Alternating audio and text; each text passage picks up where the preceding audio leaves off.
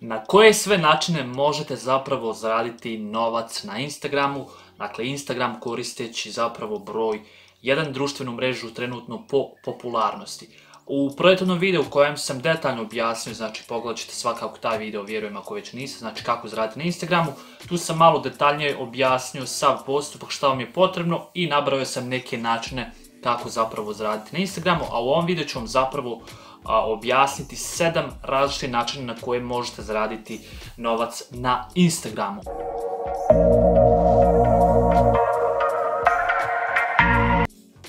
A naravno odmah da kažem u startu postoji bezbroj, bezbroj načina, znači ovo je sedam mojih koje sam ja odabrao, vi možete pronaći čak još neke druge za koje ja neću znači nabrojati ovdje, tako da imate bezbroj načina vama da odaberete one koji vam se dopadaju, koji su u skladu sa vama, vašim znanjem, vještinama, vašom publikom i tako dalje. Također u startu naravno pozivam vas ako već niste, zapratite me na Instagramu, znači kako biste bili u stalnoj interakciji sa mnom, a naravno tu svakodnevno i dijelim storije u vezi biznisa, online zarade i tako dalje, naravno kao inače i pretplate se na moj YouTube kanal kako ne biste, ne biste propustili nove nadolazeće klipove. E sad, također, još jednom da zaključim, znači vi na Instagramu znači ne zarađujete kao na samoj platformi da vas Instagram plaća za to što radite, nego znači upravo zarađujete kroz ono što već radite, a samo to zapravo prenosite na Instagram. To je pojenta u vezi Instagram. Ok, idem u srž, znači nabrojat ću vam sedam različitih načina kako možete zaraditi novac koristeći Instagram. Prvi način naravno u skladu sa vašom nišom, zapravo šta radite je prodaja različitih e-book knjiga ili kurseva. E sad mnogi će reći pa kako ja da prodajem, ja se bavim tim i tim. Znači sve u skladu sa vašom biznis nišom. Ako ste recimo u području motivacije, inspiracije, tako dalje, znam da ima dosta onih stranica koje pišu statuse, motivacijske statuse, inspiracije, tako dalje, znači vi vašoj publici možete prodati neki, ili mislim preprodate neku e-book knjigu, a, znači knjiga u elektronskom formatu, različite kurseve i tako dalje, znači zavisno sve u skladu sa tim što pričate. Znači ako vam je stranica ili profil u vezi motivacije, znači pronađete recimo na različitim affiliate mrežama a, neke kurseve, knjige ili od nekih naših, naših govornika, šta ja znam, njihove neke knjige, kurseve i tako dalje. Znači, to je baš ono u vezi, a, možete prodajete knjige i kurseve, znači ako ste u tom nekom području motivacija, inspiracija, a, govorništvo i tako dalje. Znači, to je prvi način.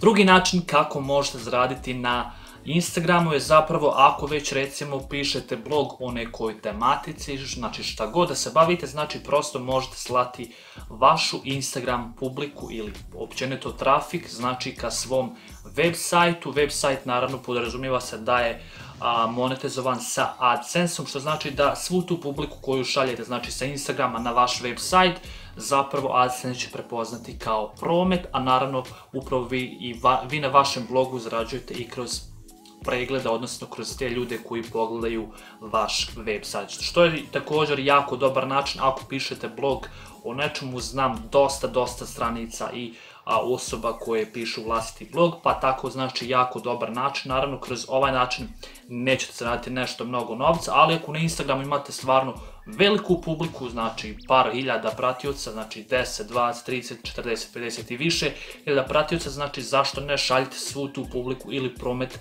ka vašem web sajtu koji je već monetizovan sa AdSense-om i na taj način ćete zaraditi novac.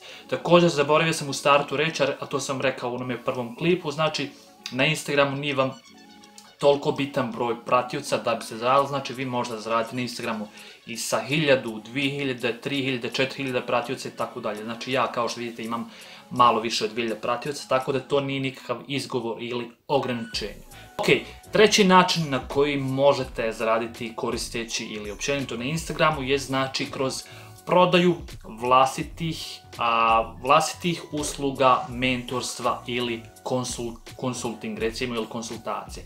To također znači da recimo da ste dobri u nečemu, imate neku specifične specifično znanje, vještine koje drugi trebaju, znači na Instagramu prosto možete sebe bolje ispromovisati i ponuditi ljudima usluge, mentorstvo, konsultacije i tako dalje, što razni profili ili razni korisnici rade. Znači evo recimo vratimo se opet na, na prvi korak gdje sam vam rekao da možete da zaradite kroz, znači kroz prodaju e-book knjiga i kurseva, znači ako recimo ako ste u području motivacijski govornik, motivacija, inspiracija i tako dalje, znači možete recimo ponuditi ljudima a, usluge mentorstva gdje ih možete više da savjetujete o tome kako da se izbore za sebe, kako da ostvare ciljeve, tako dalje. Znači sve opet zavisno u vezi onoga šta vi konkretno nudite vašoj publici. Znači, evo recimo kao u mom slučaju, online zarade poduzetništvo, znači ja mogu da ponudim usluge mentorstva, konsultinga, odnosno konsultacija, znači upravo u vezi online zarade gdje mogu da naučim ljude više o tome kako da zarađuju koristeći društvene mreže i općenito na internet. Znači to je jedan također način na kojeg možete ili kroz koji možete zaraditi na Instagramu. Četvrti način na koji ili kroz koji možete zaraditi na Instagramu je a, dosta, dosta poznat, pogotovo kod stranih influencera, znači prodaja storija, odnosno story shootout. Šta to znači? To znači ako imate recimo neku bazu pratioca, 5, 10 i više hiljada pratioca, znači vi možete ponuditi drugim ljudima da ćete ih kroz story samo promovisati ili neki njihov proizvod, uslugu, šta god. Znači jako jednostavno javite se znači drugim tim korisnicima, ponudite im svoju uslugu, kažete, im da imate toliko i toliko pratioca, da im možete pomoći u vezi rasta njihovog biznisa i oni se slože i vi znači kroz story samo znači prodajete a, njihov, taj njihov biznis ili, znači općenito njihovom biznisu, o njima, o njihovom brendu i tako dalje. Znači jako zanimljivo, sve što mi treba da pronađete osobe koje, kojima možete ponuditi svoju uslugu i onda kad se složite, znači kroz story samo ispromovišete ono što oni trebaju. Znači jako dobar način, a jednostavan. Peti način na koji možete zaraditi na Instagramu je upravo kroz promociju vašeg vlastitog posla ili biznisa. To je ono što mnogi rade, pogotovo na Balkanu, znači neko ko već radi nešto, ima neke svoje primarne poslove, znači samo to zapravo prenese i promoviše na Instagramu. Kao u mom slučaju, znači sve, kao što rekao u vezi online zaradi poduzetništva, ja sve to prenosim zapravo na Instagram i sva publika koja mi na Instagramu zapravo ako je zainteresovana za moj posao, za moj biznis, zapravo ja na taj način zarađujem na Instagramu, a odnosno kroz svoj primarni posao. Tako i vi možda nemate nikakvih problema s tim, znači slobodno iskoristite Instagram kroz ono što već radite. Šesti način na koji možete zaraditi kroz Instagram ili na Instagramu je zapravo kroz YouTube, odnosno a promovišite svoj YouTube kanal. Kao što ja to radim od nedavno, znači pogotovo ako imate neki veći kanal ili čak manji, znači kao što ja, moj kanal ima negdje oko 3400 pratioca, znači također kroz razne načine, bilo story, bilo status, znači usmjerite publiku na vaš YouTube kanal i dobit ćete veći odaziv na YouTube-u, znači ljudi mogu da vas prate na YouTube-u, da gledaju vaše proizvode, usluge, zavisno čemu snimate i na taj način zapravo vi izrađujete i kroz YouTube AdSense, ali upravo i na Instagramu, znači jer ste usmjerili Instagram publiku na taj vaš YouTube sadržaj, što je jako dobar način. Sedmi ili manje poznati zapravo način na koji možete raditi na Instagramu je da pomognete drugim Instagram klijentima, odnosno Instagram korisnicima u vezi sadržaja, odnosno konkretno pomozite drugim Instagram korisnicima u vezi kreiranja sadržaja. Zašto ovo kažem? Zato što mnogi imaju veće profile ili znači veću bazu pratioca na Instagram, ali zapravo njihov sadržaj je jako loš ili skoro pa nikakav. Znači sve ono što vidite kod mnogih Instagram korisnika su statusi ili općenito znači slike koje imaju samo smajlije i to je to nikav status priče i tako dalje. Što znači ako znate, odnosno ako umijete pisati, odnosno dobar kopi, kopi je zapravo umjetnost prenošenje poruke koja zapravo privlači više pratioca na neki način. A na Instagramu znači što je vaš status koji je znači, potkrepljen sa slikom, što je veći, što je veći kvalitetni status zapravo i veći je vaš engagement, znači uključenost drugih ljudi koji bi potencijalno mogli da vas prate. Da sumiramo, znači kroz ovaj način, ako umijete pisati dobro priče, općenito znači status priče, zapravo vi možete ponuditi svoje usluge drugim Instagram korisnicima i reći im da im, možete, da im pomognete u vezi kreiranja kontenta ili kreiranja sadržaja. Vjerujte, to je na stranom tržištu jako, jako plaćeno jer znači story, znači priča je zapravo ono što prodaje. Tako da ako ti Instagram korisnici imaju veliku bazu pratioci, sad zamislite da, da ta njihov ta njihova baza pratioca dobije i kvalitetne priče, kvalitetne statuse, oni se mogu još još više širiti. Znači, zašto ne bi platili vas ako ste dobri u pisanju statusa, priči, općenito copywriting na, na neki način.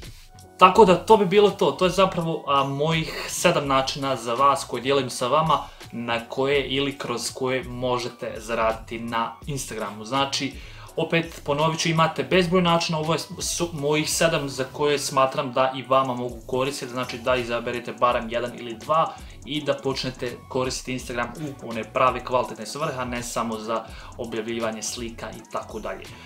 Ako imate nekih predloga, pitanja ili nesnoća u vezi ove tematike, slobodno pišite dole u komentarima, volio bih da čujem kako vi koristite Instagram, na koji način vi zarađujete na Instagramu i tako dalje.